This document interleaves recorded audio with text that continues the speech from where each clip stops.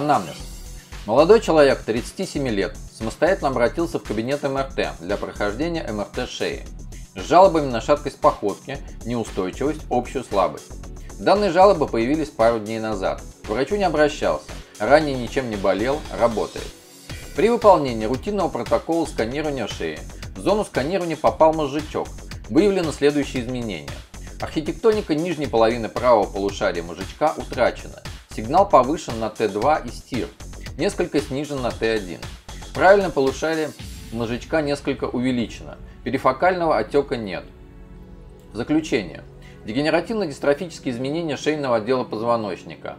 МР картина межпозвонковой грыжи, осложненных компрессией нервных корешков С5-С6. Образование правого полушария мозжечка.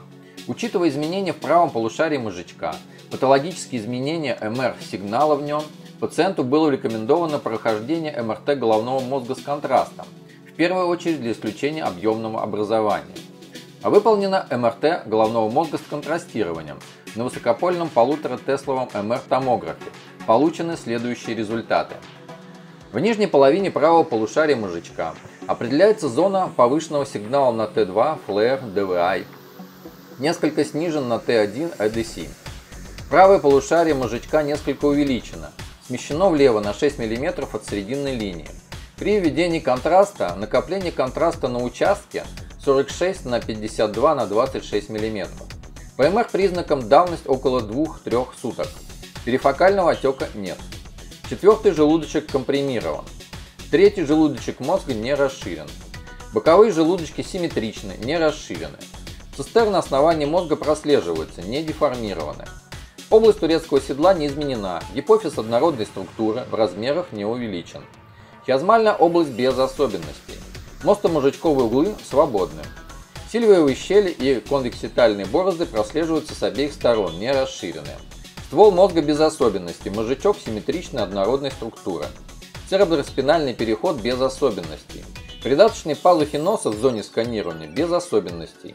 При введении контраста другие очаги патологической васкуляризации не выявлены. На отсроченных томограммах накопление контраста без особенностей. Данных за наличие объемных образований головного мозга не получено. Заключение. МР-картина ОНМК по ишемическому типу в бассейне правой задней нижней артерии мозжечка. Компрессия четвертого желудочка головного мозга. Рекомендована срочная консультация невролога, госпитализация. Таким образом был выявлен острый ишемический инсульт нетипичной локализации у пациента 37 лет, что также нетипично для развития инсультов.